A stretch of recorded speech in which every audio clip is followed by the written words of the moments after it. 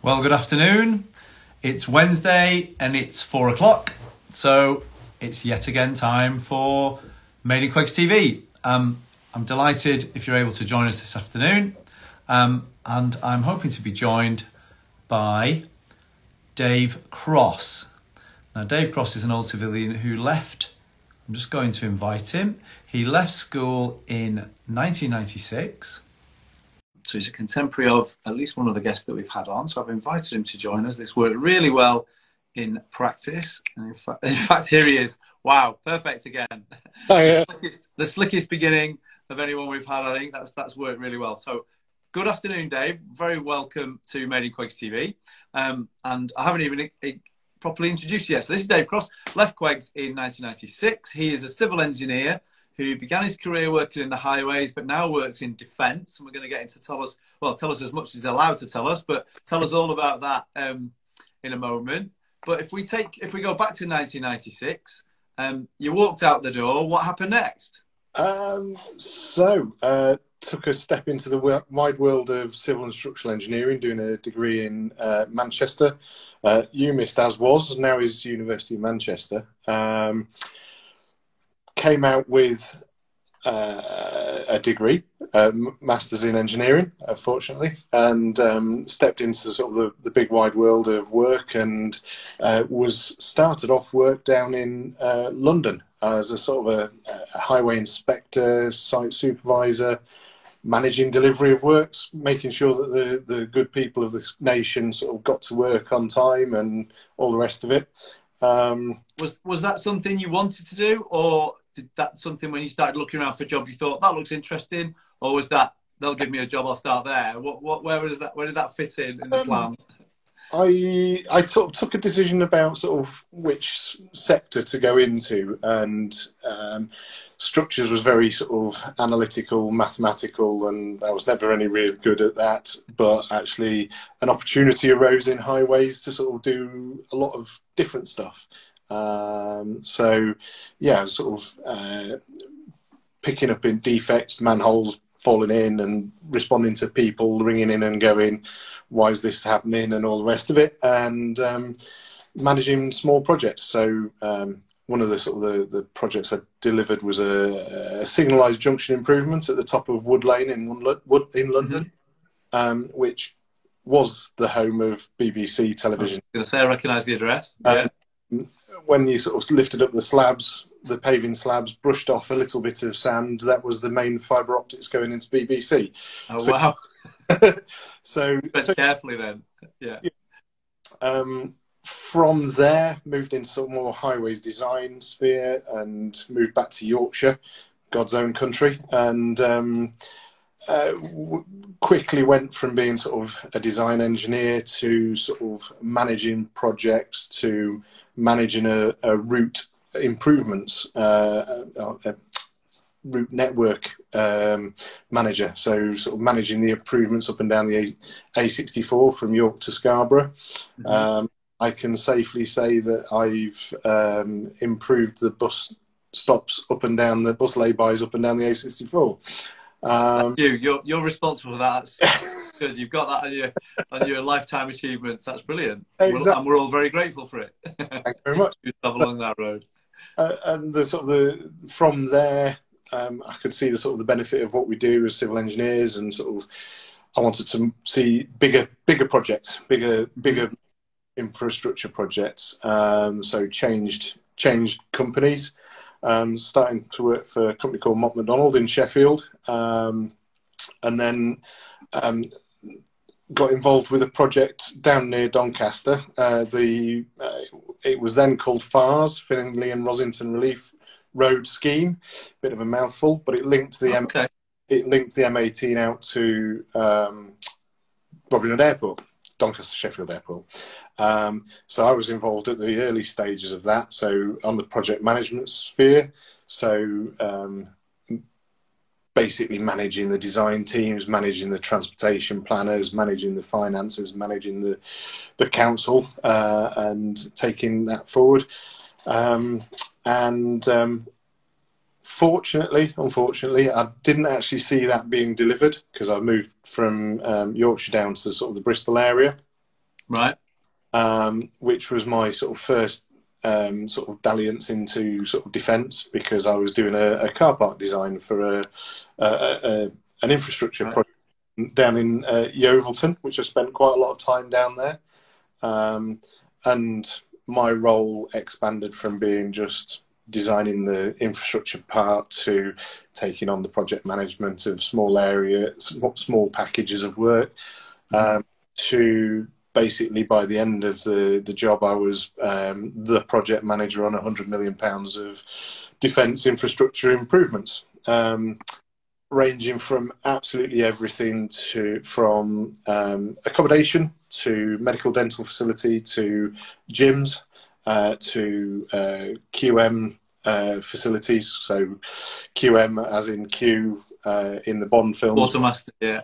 yeah, but but not the not the sort of like the techno gadgets that they have. Um, to all sorts. Um, every day was every every day. Uh, uh the reason, or one of the reasons why I like the job at the minute is every day I go to work, go to site. It is a bit like going to work in an air show because there's um, helicopters flying around, there's airplanes flying around, there's all sorts big Tonka toys going around. Great fun. Um, I mean, the one thing. So following following the delivery of that project, um, I moved over to delivering uh, the Dunker, which is right. uh, the try. You're still at Mott MacDonald's at this point, but subcontracted to MOD work. Yeah, correct, correct. And with that project, it was uh, the, the, the tri service underwater escape training facility. Again, it's another uh, mouthful, but mm-hmm. as MOD, they give it everything gets project names. So this was the Dunker, um, which basically was uh, three pools uh, with going down into the ground with a water table of uh, 400 mil below ground. Um, and all the uh, interesting nuances of trying to deliver it when you've got sort of um, one of the one of the world's biggest archaeological finds right underneath the doorstep, um, and um, yeah, that was that was a really interesting project. I mean, the one and that's quite a shift from what you've done before. That was, mm. was there quite a lot of thing, new things to learn, and uh, oh yeah, it's quite steep learning curve. I imagine that's that's a shift from from highways and from and road road and uh, sort of projects. So getting up to speed with the TLAs is just absolutely the, the military are full of the, the sort of the acronyms, three letter acronyms. Yeah. And yeah. it, it's amazing. I mean, the, the one thing that the the one thing that I take to heart when I'm delivering projects, and this is why I've sort of I didn't actually fully anticipate it when I went into civil engineering, is that mm-hmm. actually the, the the projects that I'm delivering now, I can see the benefit from um, the people that are going through the training facilities, the people mm. that are breaking out of the squadron office buildings, the people that because they can do all the training, they can do all the flying that they can um, in a nice, warm, fuzzy environment at home, um, and when they go out to theatre to go and support foreign parties, etc., etc. Mm-hmm. They go and do the un, uh, uh, things that I wouldn't want to do. Um, I've given them the best facility that they can train in, so that they come home at the end of the day. And Which, yeah, is the is the main is the main event really? That's the thing you, we want to happen most. Exactly. Exactly, and so uh, that's the thing that I every day I go to work, I put my heart and soul into it because I know that's the outcome. And I've I've now branched into different projects where um, can, I can't talk about what we do, but it's fun and uh, I had a feeling you were going to say that. so, so but, in general terms, I know you've recently changed, or relatively recently changed yeah. to a new firm. Um, and and is, is that some of the same? Obviously, if it's it's current work, you can't talk about it. But is it the same kind of things, or is that new challenges as well? It's um, it's similar work in so much as it, uh, where I am at the minute, it's project management of defence infrastructure projects. Mm-hmm. However, every day is a challenge. Um, I mean, you you go in and there are different um, there's different end users, so there's different requirements. There's different mm-hmm. complexities of working in different military establishments. There's different um, contractual arrangements that we're sort of working with. That some some contractors are very good and understand defence and go, here we are, yeah, let's go. Others are kind of going, mm, what the hell? Sure. On here. and yeah. sort of go forward. Um, so, is every day the same? No, not at all. Not at all. I mean, um, just this last couple of weeks, I uh, like um, I was sort of come back off Christmas holiday, nice easy week. Um, the week, the, the, first day that the contractor was on board, my phone started ringing at seven thirty in the morning whilst I was having my coffee and watching the news, sort of thing. And I'm just like, oh my god, what's happening now? Stop.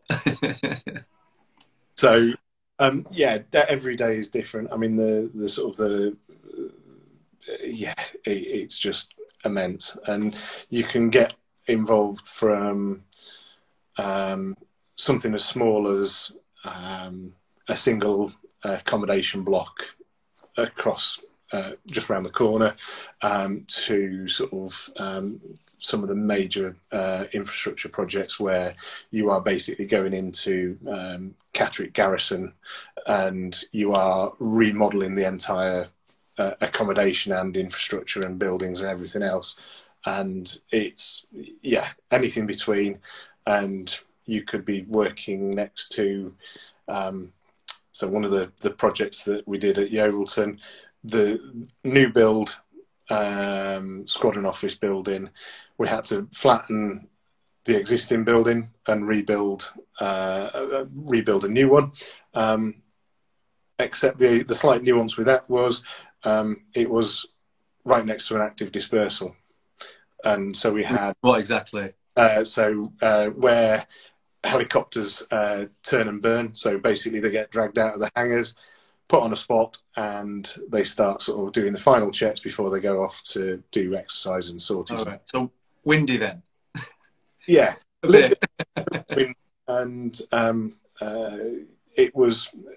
That's just my. That was my first sort of dalliance into defence, and I was like, "What the hell have I got myself into?" So. Yeah yeah, I, I mean, want to build things. What's going on here? Yeah. and, wow. And actually, I think it's it's amazing because uh, civil, and I take it back then to sort of civil engineering as a career, and I've just been writing something um, uh, to sort of like uh, to sort of showcase what we do, and mm.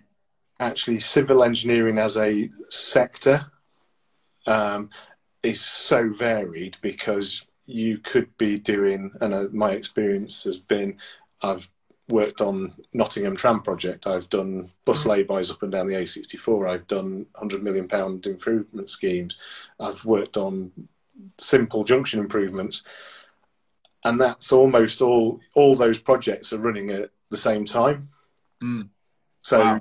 you're sort of like you from a it kind of works for my brain because I kind of I like to have lots of things going around at the same time.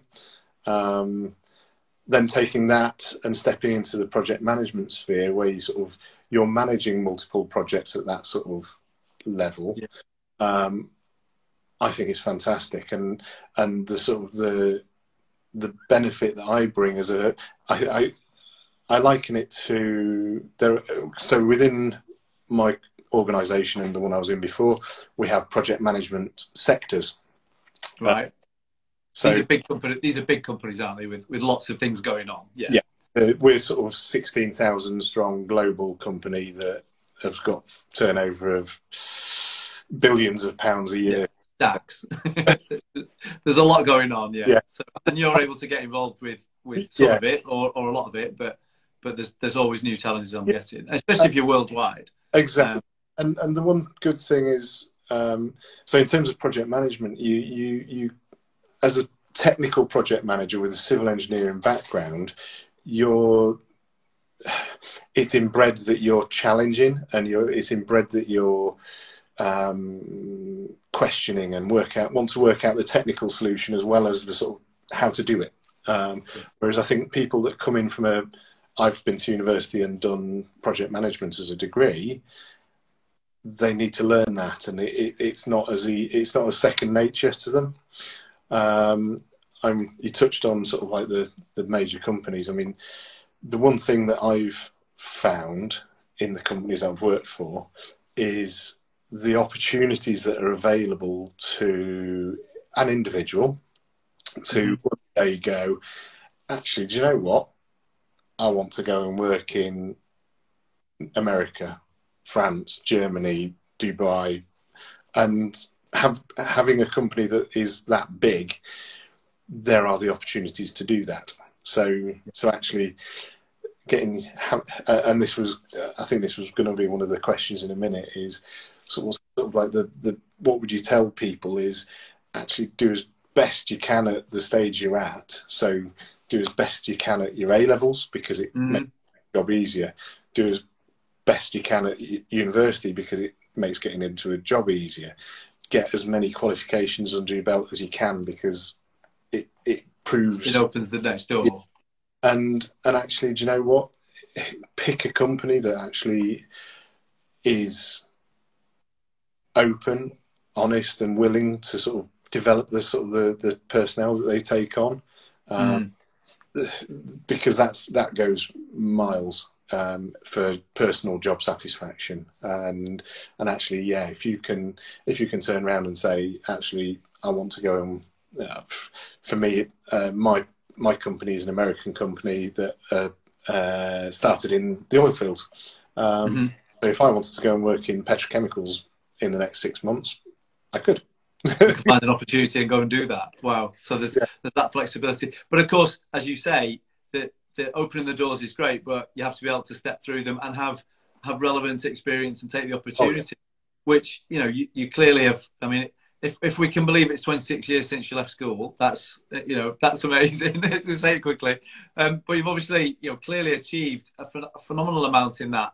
But if we if we have a little look back, because mm. we started like sort of looking forwards, but you know that skill set that you've developed and taking those opportunities. Let, us let's, um, let's reminisce a little bit from your time in school. I think your last three years here were my first three. Yeah. Um, way back in the nineties. You you I think you spent your whole career at, at, the school. Did you did we in the juniors as well? Did you come yeah. right through? So, so, you started as a as a youngster. What, I, what, memories have you got? Just sort of talk us through your school career in, in sort of in a bit about like I think you were involved with quite a lot of things. Is my memory. Um, yeah.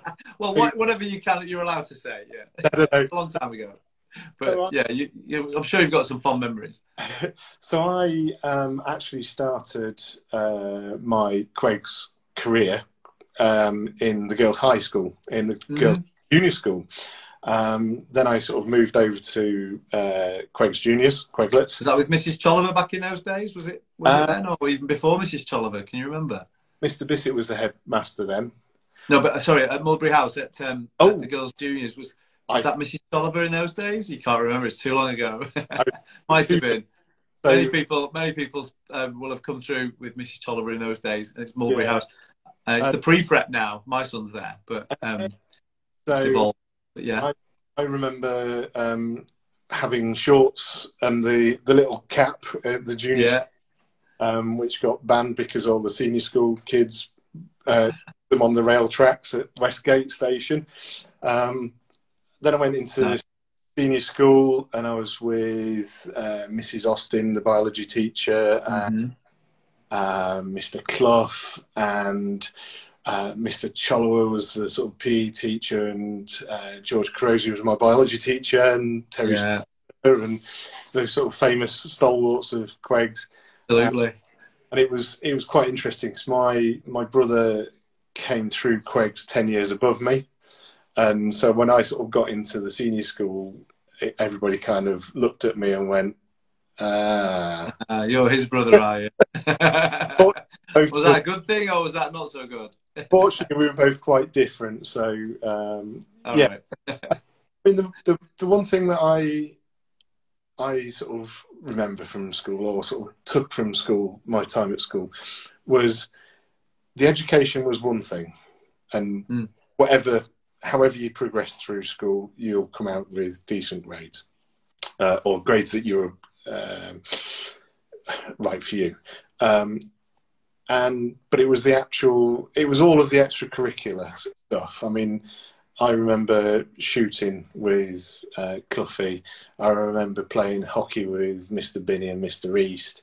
And uh, I remember uh, going caving with Mr. Mason and all those extra stuff and doing DV and that sort of, there's sort of the, the phenomenal amount of sort of extracurricular stuff which enriched us as children mm-hmm. and boys and young adults. Yeah, yeah.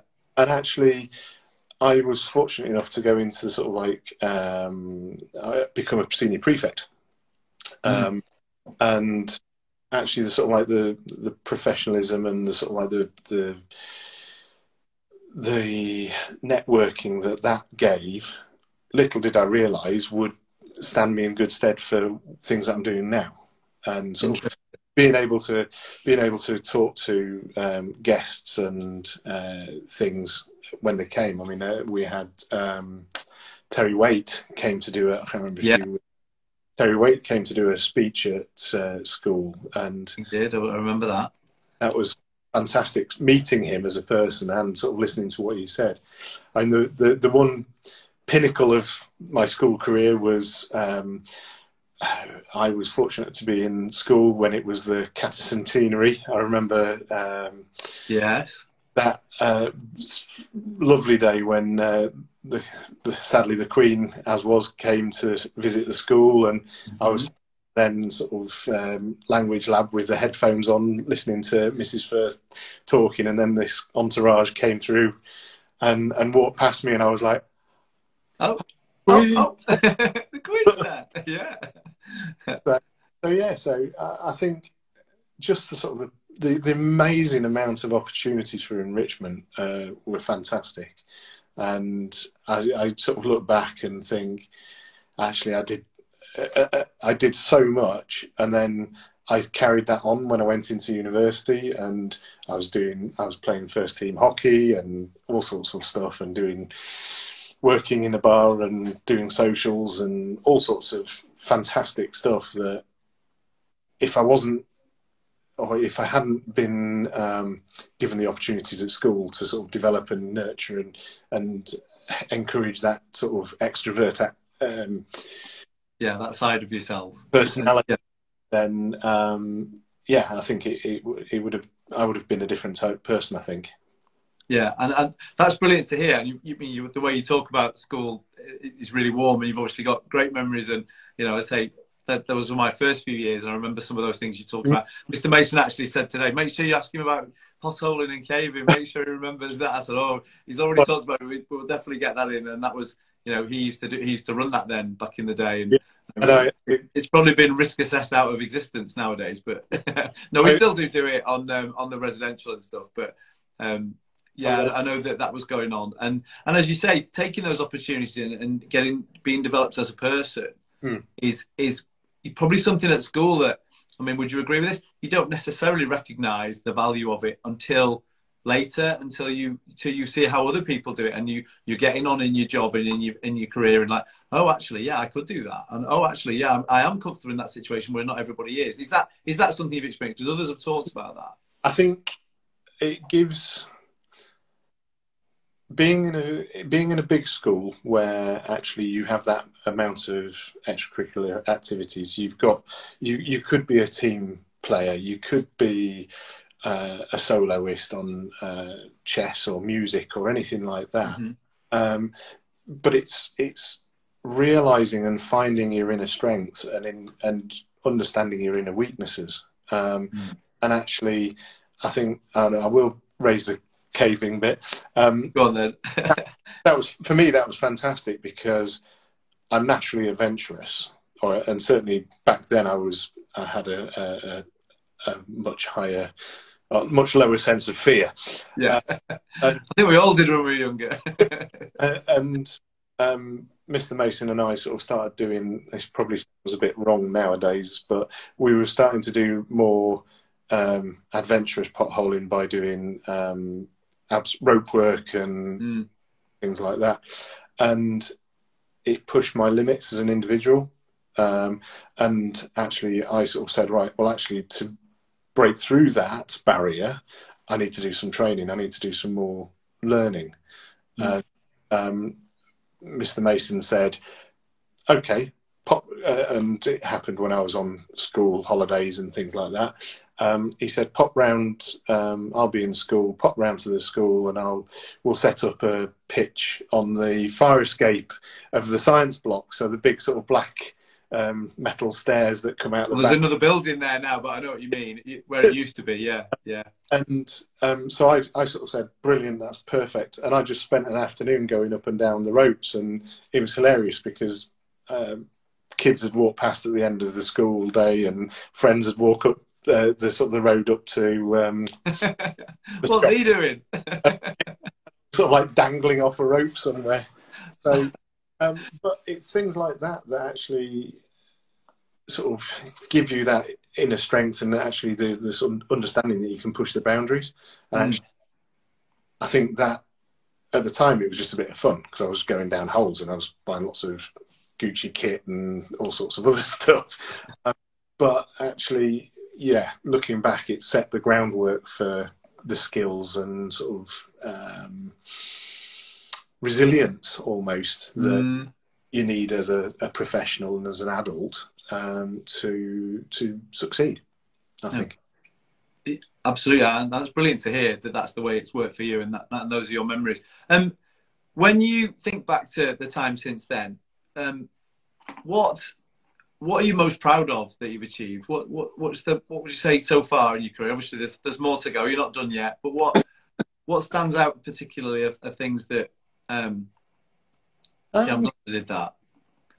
I think I think there's probably lots. Sounds in, like.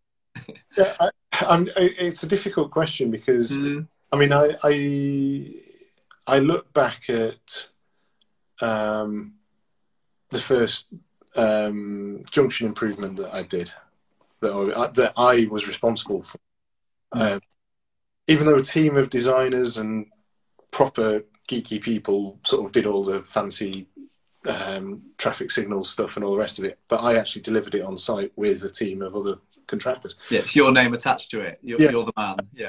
And I still drive up and down the, the M1 and I see the lights at junction um, 36 and go, I did that. I did that. and it's those sorts of things, and it, it's the as I say, the sort of like the, the delivering the dunker and and actually seeing it in action and seeing going back after and seeing people actually being trained in it and actually coming out and it, it's it's that that's doing the, its job. Yeah, sense of pride on that.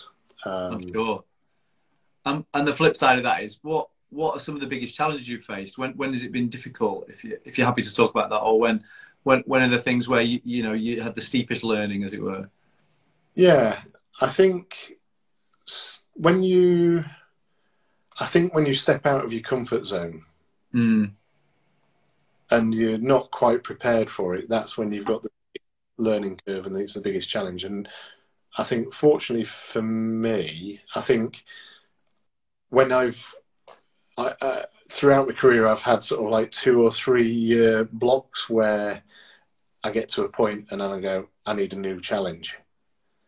And so you sort of like you look around and go, actually, yeah, I need to do this. Um, and I think for me, it was when I, after I first, so my first position, my first job was with a company called WSP.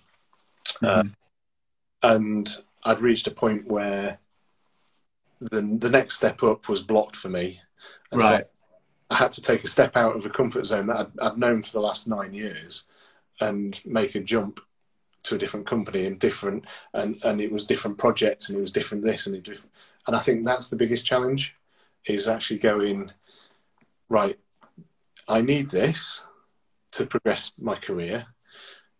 It's going to be difficult. It's going to be tough. It's going to be need a lot of learning to sort of upskill. We always talk about upskill nowadays. Of course.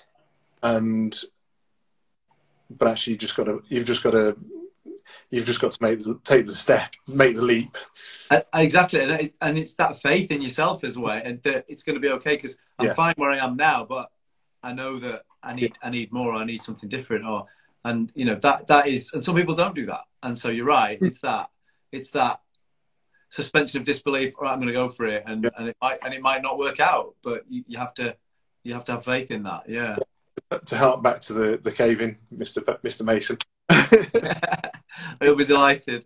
you, stood off, you stood at the top of a pitch. You've got all your gears on. You've got been buddy checked. You've got your rope. You have got your everything is rated to sort of one and a half tons, two tons, sort of thing. Mhm. You're sixty kilos wet, sort of thing, um, and you've got to be have that confidence in yourself. Have that confidence in your own abilities and the kit that's around you and the support network that's around you to lean back and let go almost. and drop into the dark and Yeah, I hope it's right. And that's a really good analogy. I think that's you've got both Yeah. those experiences to see the see the parallels. Um, what's I say this every week. Half an hour has gone like that. It's, I'm really, we've you know really enjoying talking to you. But what's next? What do you you know? You said you've you've not been at this particular post very Mhm. long. This is relatively new, so. You know, maybe, maybe you're not even thinking about what's next. But what, what's the sort of, you know, e- even in outline the, the next Yeah. step in your in your rather impressive career? Would you say? So um, I'll take a sort of a marginal step back. So Mhm. um, when I was at, uh, my previous company was Mott MacDonald, as, as we t- t- touched on earlier. Mhm. I'd got to a point where, again, it was the next step up was kind of somebody else had just come in, so it's not going to be, uh, and I was ready for the next challenge. Um, I've been with Mott's for mm, ten years, nine years, something like that, Mhm. um, and I sort of thought, actually, I've I've got a junction here. Let's let let's take a different path. So I joined Tetra Tech, who are the co- n- new the new company, the current company, um, but I took a little bit of a step down. Mhm. I was um, looking after uh, divisional sector roles, um, and I took a bit of a step down to just be a, a senior project manager again, just to sort of reground myself. Um, and funnily enough, um, the reason why I was writing about sort of what we do in, in project management, um, there's two opportunities have come up within the company to um, be a, a south, so looking after project management within the south of England. Um, and there is also uh, head of practice uh, for project management job that's come up. So um, I've, I've I had a, I had- a very brief chat with my wife at lunchtime, and Eyeing both of those up. so possibilities. I've her as well. Hopefully, she's heard. so I think she'll be watching and finding out with the rest of us, yeah. um, so hopefully it'll be more into the sort of like the the uh, practice leadership type of role because Right. actually where I'm sort of thinking is is my bent and actually I've got a lot of it as you say I've as I say I've got a lot of experience that I can bring on and nurture and mentor um, um, more junior staff and work with the business to sort of drive the sort of the strategic change. So it's um, yeah so I think that's that's where I'm heading. I need to um, I need to finish this contract at the minute which is quite Yeah. But uh, yeah, we will get there. well, that's good to hear. Um, so, if I'm if I'm in the audience today watching and I'm thinking civil engineering, yeah, I might fancy that. Have you got any specific advice for for the youngsters and even and the parents of youngsters yeah, um, about about being an engineer generally, perhaps, but specifically civil engineering? Because to me, and, I- and I, I- I didn't do engineering at school. I probably could have. I was mathematical, those kind of things, but but I don't think I really understood at the time what engineering was. It might have suited me better than a than a maths degree. And it's Hmm. it's a, you know if I'd had better education and I'd done more research in those days, maybe I'd have had a different path. But what what's you know what do you think people people Yeah. who might be interested might need to know from your perspective? Obviously, you've got a lot of experience now. I think the um, I think engineering as a profession, we'll call it that, Yes. is massive. Mm. Um, I think the one thing that my I took from when I was choosing my GCSEs and all the rest of it, um, I, I, took my I sat down with my dad as the kids on the on the that are watching and the sort of the parents that are watching. Um, I sat down with my dad and said, "Look, I want to be an engineer." He went, "Okay, do some research, look at all the different sectors of engineering, and choose one. Do sort of pros cons, SWOT analysis, whatever you want to call it." Yeah. Um, and I did, and I I looked at mechanical engineering, electrical engineering, um, civil and structural engineering, petrochemicals. Sadly, I didn't go into electrical engineering, and I, otherwise I would have been much much more rich than I am now. But yes, possibly. but and then from that, look at the universities, and then sort of start going through that. Um, but uh, the one thing that I do um, I did enjoy and that sort of galvanized my sort of thoughts on which sector of engineering. I did work experience. I was going to ask you about work experience. Yeah. I did. So I did um, when I was uh, 16. Um, mm-hmm. I went over to um, Hickson and Welch in Castleford. Yeah, still there or not, but um, I, I followed. I, I, sort of shadowed their civil, uh, some of their civil engineering team around, and I was exposed to the mechanical side, the electrical side, the petrochemical, the, the, sort of the chemical side of engineering, and also the civil side. And I was like, actually, yeah, I, I, I, that's that's where I want to be. That looks great for me. Yeah, that looks interesting. Yeah, yeah, and I don't think I've ever, I don't think I've ever turned back. I know I've turned round to, so I've got yeah. um, two daughters. Uh, one is in her first year of university this year, and my other. Good lord, that makes me feel old, but yes, of course. well, what's she doing? Uh, psychology, mm-hmm. Manchester. Um, And I've got a, a, a, younger daughter who's doing a GCSEs now, and so she'll be 16 in August. Mm-hmm. And I've sort of tried to sort of guide them in the same sort of thought process, sort of saying, yeah. well, what do you want to do? What do you want? What do you want to do when you're older? What do you want to do when you're grown up? Sort of thing. Um, and the the kids, my kids, my daughters, went yeah. through. Well, my youngest at first she wanted a, to be a gymnastics coach. Then she wanted to be a physiotherapist. Then she wanted to be something else, and then she then the sort of the, the, the careers have just done a sort of full 360 sort of thing, and the one thing that I would say is get as much education as you can. As like I said earlier, get as yeah, sure. best you can when you can. Um, and actually, um, there there are routes to careers that don't need to go to through university. So mm. um, I'm in engineering, and actually, one of the big things that all companies look at is apprenticeships. So actually, and, and I'm a great advocate for that because I'm a, a parent from Yorkshire, and I don't want to pay for. yeah, it's a different route, and yeah, um, but, absolutely. But if I, I look at kids nowadays that potentially could go to university, like I did, uh, doing a four or five year course with all the associated mm. debt. Different now, isn't it, from uh, from those days? Yeah. Yeah, and um, they've got to pay that back, or parents mm. have got to support them to pay. Mm-hmm. Um, but actually going through a different route of an apprenticeship, you're doing the work whilst you're learning, and somebody else pays for it. So, which you know, in the modern world, that's not to be sniffed at. And, and actually, we're finding year on year the apprenticeship route is becoming yeah. more attractive, particularly in certain sectors. So, engineering, finance, particularly. Oh, yeah. And some others, and I, and I think you're right. It's it's not something. It, it kind of went away and it wasn't supported, but it's back and it's and it's, it's a, a, great route. We've had we've had several boys in recent yeah. times do that. And actually, there's no there's no barriers now. I mean, it needs it needs you as an individual to be more um, motivated to get it because companies do play quite a big style on. Actually, you need to be getting top grades and the top sort of thing. Otherwise, we're going to cut the funding. Yeah.